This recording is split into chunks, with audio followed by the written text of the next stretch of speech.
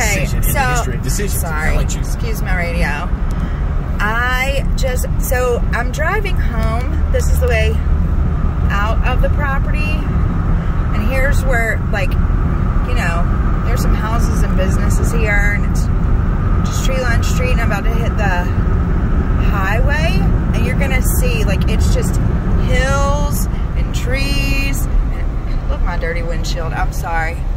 I had to drive through the country and all kind of bugs, but like it is gorgeous out here in Chatham County. It's just sorry, I go fast, but I see something and I want to get. It's just hills and trees and hills and trees and hills and trees and hills and trees, and I have a green light and I'm filming, so let me go ahead and turn. I'll get to the top of a hill and then you'll be able to see just like trees and hills and it's kind of pretty like the mountains except there's no rocks. So anyways, I just wanted to shoot that for you real quick. Look, see that tree line up there? It's so nice out here. Okay.